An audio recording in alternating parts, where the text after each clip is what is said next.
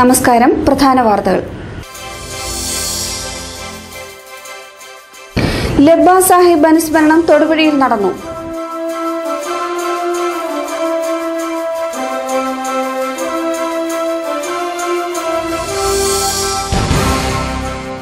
കയ്യേറ്റക്കാർക്ക് വേണ്ടി തേനി ഹൈവേയുടെ വീതി കുറയ്ക്കരുതെന്ന് ആക്ഷൻ കൗൺസിൽ.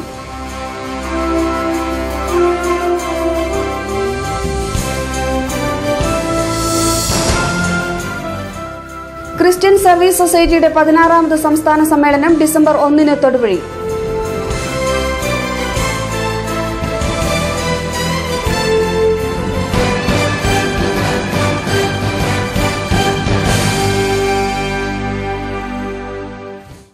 വാർത്തകൾ വിശദമായി. മുസ്ലിം ലീഗ് ഇടുക്കി ജില്ലാ കമ്മിറ്റി ആഭിമുഖ്യത്തിൽ ലബ്ബ സാഹിബ് സ്മാരക പുരസ്കാര വിതരണവും അനുസ്മരണവും നടന്നു. ജില്ലാ പ്രസിഡന്റ് കെ എം എ ഷുക്കൂറിന്റെ അധ്യക്ഷതയിൽ തൊടുപുഴയിൽ നടന്ന പരിപാടി മന്ത്രി പി ജെ ജോസഫ് ഉദ്ഘാടനം ചെയ്തു. ലബ്ബ സാഹിബ് സ്മാരക പുരസ്കാരം Al Azhar group chairman K M മൂസയ്ക്ക് മന്ത്രി പി ജെ ജോസഫ് സമ്മാനിച്ചു. ശാസ്ത്ര സംഭാവനയ്ക്കുള്ള എം എസ് എഫ് സ്വർണ medal T A Ahammed Kabeer M L A Sheena Sulaiman സമ്മാനിച്ചു.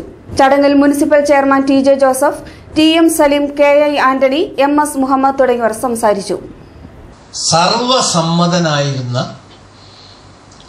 ഒരു നേതാവായിരുന്നു ലബാ സാഹിബ് മാമ എന്ന് നമ്മ എല്ലാവരും അദ്ദേഹത്തെ സ്നേഹപൂർവം വിളിച്ചിരുന്നു. അദ്ദേഹത്തിന്റെ പേരിൽ ഒരു അവാർഡ് നൽകുവാൻ തീരുമാനിച്ചത് ഏറ്റവും ഉചിതമായി. മുഹമ്മദ് കുഞ്ഞ് ലബയെ പറ്റി ധാരാളം നല്ല ഓർമ്മകളുള്ളവരാണ് ഇവിടെയുള്ളത് തെരഞ്ഞെടുപ്പ് വന്നാൽ ആരും അദ്ദേഹത്തോട് അഭ്യർത്ഥിക്കേണ്ട. അദ്ദേഹം മുൻപന്തിയിലുണ്ടാവും മുഴുവൻ സമയവും ജനങ്ങളുമായി ബന്ധപ്പെട്ട് എല്ലാവരെയും സംഘടിപ്പിച്ച് രംഗത്ത് നിന്ന് പ്രവർത്തിക്കുന്ന ഓർമ്മകൾ എനിക്ക് ധാരാളമായിട്ടുണ്ട്. ലബ സാഹിബ് ഒരു കാര്യം പറഞ്ഞാൽ അതിനോട് നോ പറയേണ്ടി വന്നിട്ടില്ല എനിക്ക്. അദ്ദേഹം അത്ര ആലോചിച്ച കാര്യങ്ങൾ പറയുന്നു ആ നിലയിൽ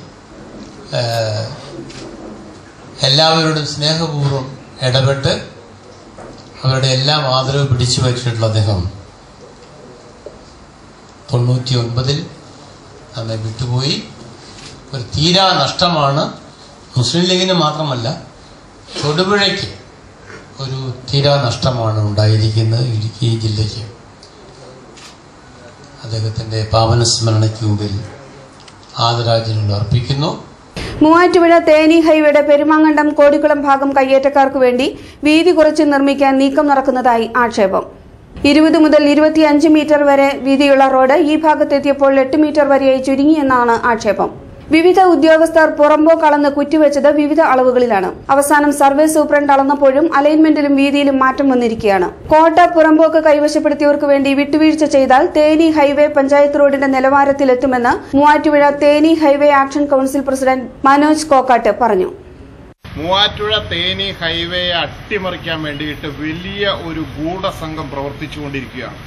പെരുമാങ്കണ്ടം മുതൽ കോടിക്കുളം പഞ്ചായത്തിന്റെ അതിർത്തി വരെയുള്ള വഴിപണി ഇപ്പോൾ ഇടുക്കി പാക്കേജിൽപ്പെടുത്തി നടന്നുകൊണ്ടിരിക്കുമ്പോൾ തുടക്കത്തിലെ ഇരുപത് മീറ്റർ വീതിയിൽ പാവപ്പെട്ട ആളുകളുടെ ഭവനങ്ങൾക്ക് വരെ ദോഷമുണ്ടാകുന്ന രീതിയിൽ വഴിപണി തുടങ്ങിയിട്ട് ഭൂപ്രമാണിമാരുടെ വശത്തേക്ക് വരുമ്പോൾ ഇത് ഏഴ് മീറ്ററിലും എട്ട് മീറ്ററിലുമായിട്ട് റോഡ് ചുരുങ്ങിയിരിക്കുന്ന വലിയ വിരോധാഭാസമാണ് നമുക്കവിടെ കാണുവാൻ കഴിയുന്നത്.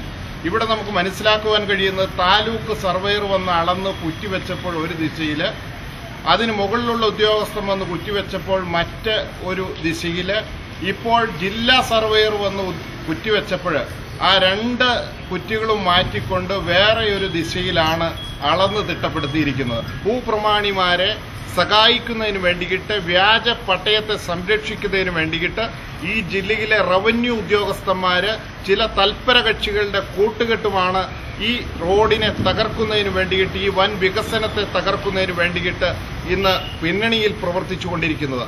ഇവിടെ ഹൈറേഞ്ചിലെ ഭൂമാവിയെയും ഭൂമി ലോബിയെയും വെല്ലുന്ന രീതിയിൽ ഇടുക്കി ജില്ലയെ ഞെട്ടിപ്പിക്കുന്ന രീതിയിലുള്ള വലിയ ഭൂമി കയ്യേറ്റവും വ്യാജരേഖയുടെ ഒരു പതിവ് ഭൂമി വ്യാജരേഖ നിമിത്തം ഉണ്ടാക്കിയിരിക്കുകയാണ് ഈ കോട്ട റോഡിന്റെ ഇരുവശങ്ങളിലും.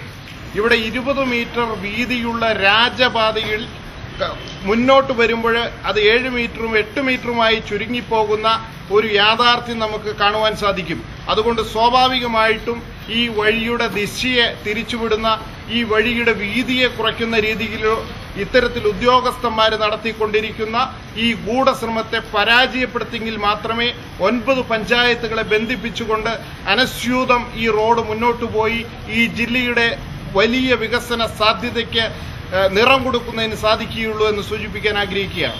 ക്രിസ്ത്യൻ സർവീസ് സൊസൈറ്റിയുടെ പതിനാറാമത് സംസ്ഥാന സമ്മേളനം ഡിസംബർ ഒന്നിന് തൊടുപുഴയിൽ നടക്കും. വൈകിട്ട് നാലിന് പതിനായിരം പേരുടെ റാലി തുടർന്ന് കോതായിക്കുന്ന് ബസ് സ്റ്റാൻഡിന് സമീപം പൊതുസമ്മേളനം എന്നിങ്ങനെയാണ് പരിപാടികൾ. കേന്ദ്രമന്ത്രി കെ വി തോമസ് സമ്മേളനം ഉദ്ഘാടനം ചെയ്യും. മന്ത്രിമാരായ K M Mani P J Joseph K Babu V K Ibrahim Kunju തുടങ്ങിയവർ പങ്കെടുക്കും. സി എസ് എസ് ഭാരവാഹികളായ ജിജി മഞ്ഞക്കുന്നേൽ ബിജോയ് കുറ്റിയറ ബാബു മേട്ടുപുറം തുടങ്ങിയവർ വാർത്താ സമ്മേളനത്തിൽ അറിയിച്ചതാണ് ഇക്കാര്യം. വൈകിട്ട് നാലിന് ജ്യോതി സൂപ്പർ ബസാറിന് സമീപത്തു നിന്നും ആരംഭിക്കുന്ന റാലിയിൽ ഇരുന്നൂറോളം മാലാക കുഞ്ഞുങ്ങൾ ഇരുന്നൂറ്റൻപതോളം ക്രിസ്തുമസ് പപ്പാമാർ ബാൻഡ് മേളങ്ങൾ ചെണ്ടമേളങ്ങൾ നാസിക് ഡോൾ എന്നീ വാദ്യമേളങ്ങൾ എന്നിവ വാദ്യമേളങ്ങൾക്ക് എന്നീ വാദ്യമേളങ്ങൾ റാലിക്ക് കൊഴുപ്പേകും. കോട്ടയം എറണാകുളം ആലപ്പുഴ ഇടുക്കി എന്നീ ജില്ലകളിൽ നിന്നുള്ള പ്രവർത്തകരും മറ്റ് ജില്ലകളിൽ നിന്നുള്ള പ്രതിനിധികളും അടക്കം പതിനായിരത്തിൽ പരം അംഗങ്ങൾ റീത്ത് വ്യത്യാസങ്ങളില്ലാതെ എല്ലാവരും ദൈവമക്കളാണെന്ന് വിളിച്ചോതുന്ന പ്രൗഢഗംഭീരമായ റാലി ഫാദർ ഫിർമൂസ് കാച്ചപ്പള്ളി നഗറിൽ കല്ലേൽ സ്റ്റേഡിയത്തിൽ എത്തിച്ചേരുമ്പോൾ പൊതുസമ്മേളനം ആരംഭിക്കുന്നു. ബഹുമാനപ്പെട്ട സി എസ് എസ് സംസ്ഥാന chairman Shri P A Joseph Stanley അധ്യക്ഷത വഹിക്കുന്ന പൊതുസമ്മേളനം. ബഹുമാനപ്പെട്ട കേന്ദ്ര ഭക്ഷ്യ സിവിൽ സപ്ലൈസ് വകുപ്പ് മന്ത്രി പ്രൊഫസർ കെ വി തോമസ് ഉദ്ഘാടനം ചെയ്യുന്നു. ബഹുമാനപ്പെട്ട കേരള ധനകാര്യ വകുപ്പ് മന്ത്രി ശ്രീ കെ എം മാണി മുഖ്യപ്രഭാഷണം നടത്തുന്നു. തുടർന്ന് ബഹുമാനപ്പെട്ട സംസ്ഥാന മന്ത്രിമാരായ Shri P J Joseph Shri K Babu Shri V K Ibrahim Kunju Thodupuzha നഗരസഭാ chairman Shri T J Joseph എന്നിവർ ആശംസകൾ അർപ്പിച്ച് സംസാരിക്കുന്നു. കൂടാതെ വിവിധ മേഖലകളിലെ മഹത് വ്യക്തികളെ സമുദായ പ്രതിഭ അവാർഡ് നൽകി ആദരിക്കുന്നു. തുടർന്ന് സി എസ് എസ് മേഖലാ spiritual director reverend father James Vadakkel അനുഗ്രഹ പ്രഭാഷണം നടത്തുന്നു. തൊടുപുഴ അമ്പലം റിംഗ് റോഡിന്റെ അറ്റകുറ്റപ്പണി ഉടൻ ആരംഭിക്കുമെന്നറിഞ്ഞിട്ടും വഴിതടയൽ സമരം നടത്തിയത് ജനങ്ങളെ തെറ്റിദ്ധരിപ്പിക്കാനാണെന്ന് municipal chairman T J Joseph. റോഡിന്റെ പ്രാധാന്യം മനസ്സിലാക്കി റോഡ് നവീകരണം പി ഡബ്ല്യു ഡി ഏൽപ്പിച്ചത് നഗരസഭയുടെ പ്രത്യേക പരിശ്രമം മൂലമാണ്. മണ്ഡലകാലം പ്രമാണിച്ച് നഗരസഭ നേരിട്ട് അടിയന്തര അറ്റകുറ്റപ്പണികൾ നടത്താൻ നടപടി സ്വീകരിക്കുകയും ചെയ്തു. ഒരു ദിവസം മഴ മാറി നിന്നാൽ അന്നു തന്നെ പണി നടത്തുമെന്ന് ഹിന്ദു ഐക്യവേദി നേതാക്കളെ അറിയിച്ചിരുന്നു. തങ്ങളുടെ സമരം മൂലമാണ് നിർമ്മാണം നടന്നതെന്ന് വരുത്തി തീർക്കുവാനുള്ള ശ്രമമാണ് സമരത്തിന് പിന്നിലെന്നും അദ്ദേഹം പറഞ്ഞു. ഈ റോഡ് നന്നാക്കുന്നതിന് വേണ്ടി ബഹുമാന്യനായ കേരള ജലവകുപ്പ് മന്ത്രി പി ജെ ജോസഫ് സാറിനെ കണ്ട് അഭ്യർത്ഥിച്ചതിന്റെ ഫലമായി ഈ റോഡ് പി ഡബ്ല്യു കൊണ്ട് ചെയ്തു തരാമെന്ന് ഉറപ്പ് തരികയും ആ റോഡിന് ആവശ്യമായ എസ്റ്റിമേറ്റും ഫണ്ടും അനുവദിക്കുകയും ചെയ്തിട്ടുള്ളതാണ്. പക്ഷേ ഇങ്ങനെ നിരന്തരമായി മഴ പെയ്യുന്നതുകൊണ്ട് റോഡ് മൊത്തമായി നന്നാക്കുവാൻ ഈ മഴയത്ത് സാധിക്കില്ലാതെ വന്നതുകൊണ്ട് മഴ മാറിയതിന് ശേഷം നന്നാക്കി തരാമെന്നാണ് പി ഡബ്ല്യുയുടെ ഭാഗത്തു നിന്നും തന്ന മറുപടി. എന്നാൽ അതുവരെ കാത്തിരിക്കാൻ കഴിയില്ല. കാരണം ധാരാളം ഭക്തർ ഈ അമ്പലത്തിൽ വന്നതിന് ശേഷമാണ് ശബരിമലയ്ക്ക് പോകുന്നത്. അതുകൊണ്ടാണ് കൗൺസിലിന് അതിന്റെ ആ ഒരു പ്രാധാന്യം മനസ്സിലാക്കി വാർഡ് കൗൺസിലർ ഷീജ ജയന്റെ അഭ്യർത്ഥനയെ മാനിച്ചുകൊണ്ട് പാച്ച് വർക്ക് അടിയന്തരമായി ചെയ്യുവാൻ തീരുമാനിച്ചു. രണ്ട് ദിവസം മുമ്പ് ചെയ്യുവാൻ വേണ്ടി തയ്യാറായി വന്നപ്പോൾ അന്ന് രാവിലെ ഭയങ്കരമായ മഴ പെയ്തു. അന്ന് പണി നടത്താൻ കഴിഞ്ഞില്ല. പിറ്റേ ദിവസം മഴയില്ലെങ്കിൽ ചെയ്യാമെന്ന് കോൺട്രാക്ടർ പറഞ്ഞതിന്റെ അടിസ്ഥാനത്തിൽ പിറ്റേ ദിവസവും വൈകുന്നേരം ഭയങ്കരമായ മഴ പെയ്തു. അപ്പോൾ ഈ ഈ വിവരങ്ങൾ അതായത് വിശ്വഹിന്ദു പരിഷത്തിന്റെ ആളുകൾ നഗരസഭയുമായി ബന്ധപ്പെട്ട് നന്നാക്കുന്ന കാര്യത്തെപ്പറ്റി സംസാരിക്കുകയുണ്ടായി. ഒരു വിഷയന്തു പരിഷത്തിന്റെ ഒരു പ്രവർത്തകൻ ടെലിഫോണിൽ എന്നെ വിളിച്ച് ഈ റോഡിന്റെ കാര്യങ്ങൾ സൂചിപ്പിച്ചപ്പോൾ ഞാൻ പറഞ്ഞു "റോ- വ- വർക്ക് അടിയന്ത ഒരു ദിവസം മഴ പെയ്യാതിരുന്നാൽ പിറ്റേ ദിവസം നമുക്ക് ചെയ്യാം. അതിനു വേണ്ടിയുള്ള മുഴുവൻ ഏർപ്പാടുകളും അവിടുത്തെ വാർഡ് കൗൺസിൽ ചെയ്തിട്ടുണ്ട് എന്ന് പറയുകയുണ്ടായി.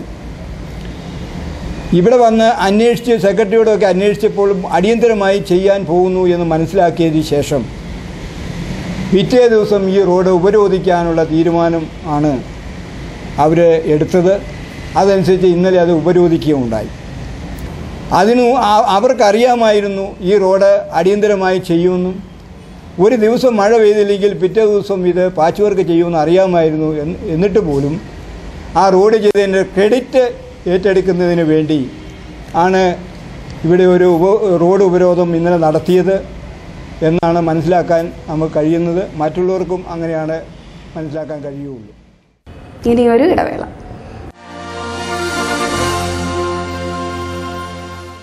Nine one six സ്വർണാഭരണങ്ങൾക്ക് government of India B I S hallmark അംഗീകാരം. K P Varkey and sons Kakkanad jewellers.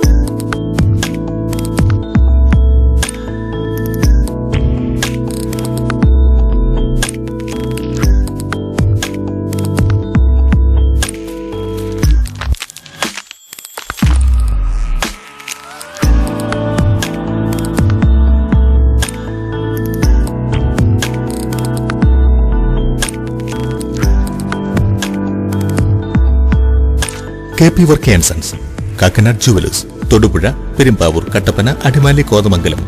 പാരമ്പര്യത്തിനൊപ്പം വിശ്വാസവും.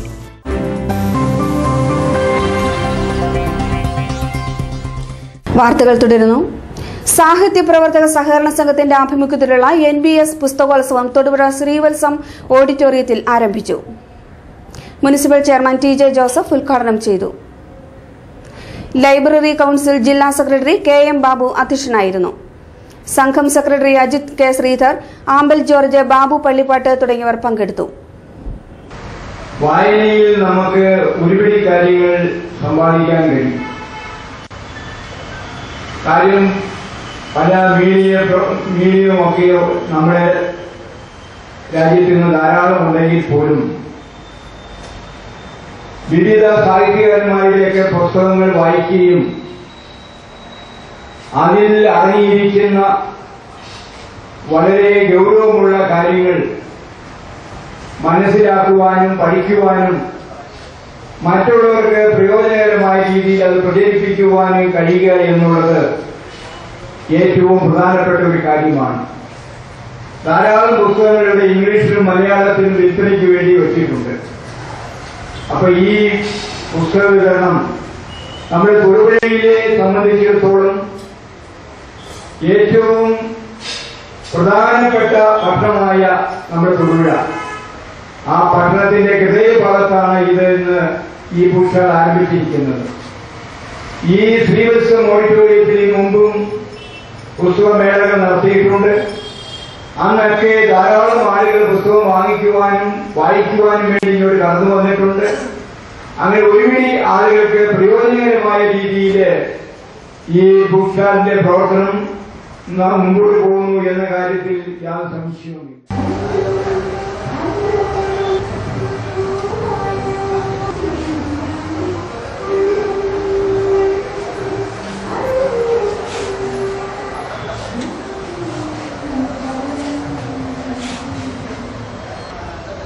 എൻ ബി എസ് പുസ്തകോത്സവത്തിൽ അൻപതോളം പ്രസാധകരുടെ പുസ്തകങ്ങൾ ലഭ്യമാണെന്ന് മേള കോർഡിനേറ്റർ അഡ്വക്കേറ്റ് എച്ച് കൃഷ്ണകുമാർ പറഞ്ഞു. വലിയ വിലക്കിഴിവും ഉണ്ടായിരിക്കുന്നതാണെന്ന് അദ്ദേഹം വ്യക്തമാക്കി. മലയാള ഭാഷയെ ശ്രേഷ്ഠ ഭാഷയായി കേന്ദ്ര സർക്കാർ അംഗീകരിച്ചത് ഭാഷയെ സ്നേഹിക്കുന്ന ഏതൊരു മലയാളിക്കും അഭിമാനിക്കത്തക്കതാണ്. ഇത്തരുണത്തിൽ മലയാളത്തിലെ ഏക ആധികാരിക നിഘണ്ടുവായ മലയാളം മലയാളം ശബ്ദതാരാവലിയും മലയാള ഭാഷയുടെ ആദ്യത്തെ ശാസ്ത്രീയ ശബ്ദകോശമായ ഗുണ്ടട്ട് നിഘണ്ടുവും ഓരോ മലയാളിയുടെയും കൈകളിൽ വേണം എന്ന സതുദ്ദേശത്തോടുകൂടി ഈ ഗ്രന്ഥങ്ങൾക്ക് സംഘം വമ്പിച്ച വിൽപ്പന ഡിസ്കൗണ്ട് നൽകുകയാണ്. ഹിന്ദി മലയാളം നിഘണ്ടു ലഘു ശബ്ദതാരാവലി ഇംഗ്ലീഷ് ഇംഗ്ലീഷ് മലയാളം നിഘണ്ടു അമരകോശം തുടങ്ങിയ നിഘണ്ടുക്കളുടെ പരിഷ്കരിച്ച പതിപ്പും അച്ചടിയിലാണ്. ഒരു ദിവസം ഒരു ഗ്രന്ഥം എന്ന നിലയിൽ സംഘം ഇപ്പോൾ പുസ്തകങ്ങൾ പ്രസിദ്ധീകരിച്ചു വരുന്നു. കഴിഞ്ഞ ഒരു വർഷം മുന്നൂറ്റി എഴുപത് പുസ്തകങ്ങൾ പ്രസിദ്ധീകരിക്കാൻ സംഘത്തിന് കഴിഞ്ഞത് അഭിമാനത്തിന് ഇട നൽകുന്നു. പുസ്തകങ്ങൾ കൂടുതൽ വായനക്കാരുടെ കയ്യിൽ എത്തിക്കുക എന്ന ഉദ്ദേശത്തോടെ സംഘത്തിന്റെ വിൽപ്പന വിഭാഗമായ നാഷണൽ ബുക്ക് സ്റ്റാളിന്റെ നേതൃത്വത്തിൽ വിവിധ ജില്ലാ കേന്ദ്രങ്ങളിലും പ്രാന്തപ്രദേശങ്ങളിലും എൻ ബി എസ് പുസ്തകോത്സവം സംഘടിപ്പിക്കുകയാണ്. തൊടുപുഴ ശ്രീവത്സം ഓഡിറ്റോറിയത്തിൽ നവംബർ ഇരുപത്തൊമ്പത് മുതൽ ഡിസംബർ ഏഴ് വരെ എൻ ബി എസ് പുസ്തകോത്സവം നടക്കുന്നു. Library council secretary K M ബാബുവിന്റെ അധ്യക്ഷതയിൽ ചേരുന്ന യോഗത്തിൽ ബഹുമാനപ്പെട്ട municipal chairman Shri T J Joseph പുസ്തകോത്സവം ഉദ്ഘാടനം ചെയ്യും. സംഘം secretary Ajith K Sreedhar ആംവൽ George doctor Joshy Varghese professor Kochuthresia Thomas doctor S B Panicker Babu Pallippattu എന്നിവർ സംസാരിക്കും. എൻ ബി എസ് പ്രസാധനം ചെയ്തവയ്ക്ക് പുറമെ കേരള സാഹിത്യ അക്കാദമി കേരള ഭാഷാ ഇൻസ്റ്റിറ്റ്യൂട്ട് മലയാള മനോരമ മാതൃഭൂമി ദേശാഭിമാനി ചിന്ത കറണ്ട് ഡി സി തുടങ്ങിയ അൻപതിലേറെ പ്രസാധകരുടെ പുസ്തകങ്ങളും ഇംഗ്ലീഷ് പുസ്തകങ്ങളും രാവിലെ ഒൻപത് മണി മുതൽ വൈകിട്ട് ഏഴ് വരെ നടക്കുന്ന മേളയിൽ ലഭ്യമാണ്. ഉദ്ഘാടനം ചെയ്യപ്പെട്ട തൊടുപുഴ മിനി സിവിൽ സ്റ്റേഷനിൽ ആദ്യ ഓഫീസ് പ്രവർത്തനം ആരംഭിച്ചു. ജില്ലാ സൈനിക ക്ഷേമ ഓഫീസറാണ് പ്രവർത്തനം ആരംഭിച്ചിരിക്കുന്നത്. ഇതുവരെ സ്വകാര്യ കെട്ടിടത്തിൽ വൻ വാടകയ്ക്ക് പ്രവർത്തിച്ചുകൊണ്ടിരുന്ന ഓഫീസാണ് ഇങ്ങോട്ടേക്ക് മാറ്റിയത്. പതിനാറ് സർക്കാർ ഓഫീസുകൾ പ്രവർത്തിക്കാനുള്ള സംവിധാനം ഇവിടെയുണ്ട്. സർക്കാരിന് വാടക ഇനത്തിൽ ലക്ഷങ്ങളുടെ ലാഭമാണ് ഇതുവഴി ജില്ലാതല കാർഷിക സംഭരണ വിതരണ കേന്ദ്രത്തിൽ ഉൽപ്പന്നങ്ങൾ എത്തിക്കുന്ന കർഷകരെ ഹോർട്ടികോർപ്പ് വലയ്ക്കുന്നതായി പരാതി. എറണാകുളത്തുള്ള സംഭരണ കേന്ദ്രത്തിന്റെ ചുമതലക്കാരായ ഉദ്യോഗസ്ഥർ ഹോൾസെയിൽ വ്യാപാരികളിൽ നിന്ന് കമ്മീഷൻ പറ്റി ഉൽപ്പന്നങ്ങൾ വാങ്ങുകയാണെന്ന് കർഷക group പ്രതിനിധികളായ Raju C Gopal Mohanan K K Biju George തുടങ്ങിയവർ പറഞ്ഞു. കൂടുതൽ അമിത ലാഭം എടുക്കാതെ നാട്ടുകാർക്ക് വിതരണം ചെയ്യാനുള്ള ഒരു പദ്ധതിയാണ് ഇത് സർക്കാർ ഇംപ്ലിമെന്റ് ചെയ്തത്. ഈ പദ്ധതി കൊണ്ട് ഉദ്ദേശിക്കുന്നത്. ഇപ്പോൾ നമ്മൾ ഈ സാധനങ്ങൾ കൊണ്ടുപോയി കൊടുത്തു കഴിയുമ്പോൾ ഉള്ള വെച്ചാൽ ആദ്യമേ ഇവർ ഒരുമട്ട് നന്നായിട്ട് സഹകരിച്ചു വന്നു. പിന്നെ ഇവർക്ക് നിസ്സഹകരണം എന്തുകൊണ്ടെന്ന് അറിയത്തില്ല. നിസ്സഹകരണം എന്തുകൊണ്ടെന്ന് അറിയില്ല എന്ന് വെച്ചാൽ നമ്മൾ കൃഷിക്കാരെന്ന് പറയുമ്പോൾ ഇത് വിറ്റ് അവനവന്റെ ഉപജീവനം നടത്തുന്ന നടത്തുന്നതിന് വേണ്ടിയിട്ട് ചെയ്യുമ്പോൾ ഇവരെന്ത് ചെയ്യുന്നു വെച്ചാൽ പേയ്മെന്റ് പെൻഡിങ് വെക്കുക എന്നുള്ളൊരു സംവിധാനമാണ് ആദ്യമേ ഇത്. അഞ്ചാഴ്ച പേയ്മെന്റ് പെൻഡിങ് വെച്ച് കഴിഞ്ഞപ്പോൾ നമ്മൾ ഇവരോട് ചോദിച്ചു കഴിഞ്ഞപ്പോൾ പറഞ്ഞു അത് ഞങ്ങൾ തരാൻ ഉദ്ദേശിക്കുന്നില്ല എന്ന് പറഞ്ഞു. ഉദ്ദേശിക്കുന്നില്ല എന്ന് പറഞ്ഞു കഴിഞ്ഞപ്പോൾ നമ്മൾ നമ്മുടെ ജന എം എൽ എയും മന്ത്രിയുമായ ബഹുമാനപ്പെട്ട പി ജോസഫ് സാറിന്റെ അടുത്ത് വിവരം ധരിപ്പിക്കുകയും സാറ് ബന്ധപ്പെട്ടു. സാറ് ബന്ധപ്പെട്ടപ്പോൾ പതിമൂന്ന് ലക്ഷത്തി സംതിങ് രൂപ തരാനുള്ളപ്പോൾ ഒമ്പത് ലക്ഷം രൂപ റിലീസ് ചെയ്തു. ഈ ഒമ്പത് ലക്ഷം തന്നു കഴിഞ്ഞപ്പോൾ അത് കൃഷിക്കാർക്ക് ആനുപാതികമായിട്ട് ഒരാഴ്ചത്തെയും വിധിച്ചു കൊടുത്ത് ഒന്നോ രണ്ടാഴ്ച വീണ്ടും കുടിശ്ശിയായി. ഇവർ തരുന്നത് പന്ത്രണ്ട് ലക്ഷത്തിന്റെ കണക്ക് എങ്ങനെയാണെന്ന് അറിയത്തില്ല. ഒമ്പത് ലക്ഷമേ തന്നുള്ളൂ. വീണ്ടും നമ്മൾ വിളിച്ച് ചോദിച്ചു. എം ഡിയോടാണ് വിളിച്ച് ചോദിച്ചത് എം ഡിയോട് വിളിച്ച് ചോദിച്ചപ്പോൾ സാറ് പറഞ്ഞ എന്നാന്ന് വെച്ചാൽ സർക്കാർ കാര്യം മുറ പോലെ നടക്കും. മന്ത്രി ഇടപെട്ട കേസല്ലേ നിങ്ങൾ എന്നാന്ന് വെച്ചാൽ ചെയ്യുന്നു ഇതാണ് നമ്മളോട് പറഞ്ഞത്. സർക്കാർ കാര്യം മറുപോലെ പോലെ എടുക്കും സർക്കാർ കാര്യം സുതാര്യമായിട്ട് നടക്കണം. എങ്കിൽ കൃഷിക്കാർ രക്ഷപ്പെടുള്ളൂ. ഈ കൃഷിക്കാരുടെ ഉന്നമനത്തിന് വേണ്ടിയിട്ട് തുടങ്ങിയ പരിപാടി ഉദ്യോഗസ്ഥർ ആഞ്ഞു പിടിക്കുക. ഉദ്യോഗസ്ഥർ അഴിമതി നടത്തി ഇതിൽ നിന്ന് വെട്ടിപ്പെടുക്കുകയാണെന്നാണ് ഞങ്ങൾക്ക് മനസ്സിലായിട്ടുള്ളത്. കർഷകരെ പീഡിപ്പിക്കുന്ന സമീപനമാണ് ഇവർക്കുള്ളത്. കുടിശ്ശികയായ വൻതുക ഇപ്പോഴും നൽകാനുണ്ട്.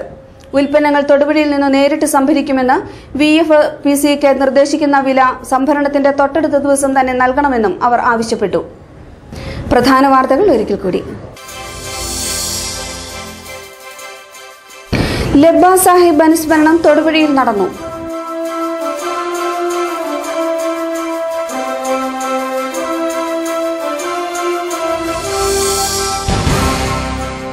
കയ്യേറ്റക്കാർക്ക് വേണ്ടി തേനി ഹൈവേയുടെ വീതി കുറയ്ക്കരുതെന്ന് ആക്ഷൻ കൗൺസിൽ.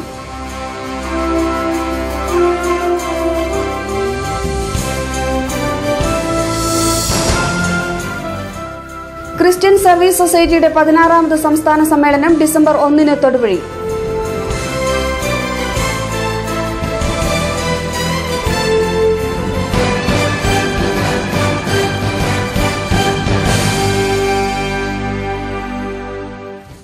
ഇതോടെ ഈ ബുള്ളറ്റിൻ സമാപിക്കുന്നു. നമസ്കാരം.